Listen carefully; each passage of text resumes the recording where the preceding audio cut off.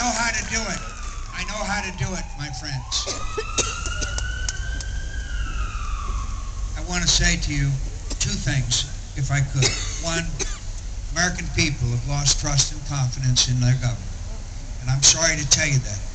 And there's a number of reasons. Our failure Katrina, a number of others. But the biggest problem that we, particularly Republicans, have is the way we let spending get completely out of control. We have spent and spent and spent, and it's become corrupt.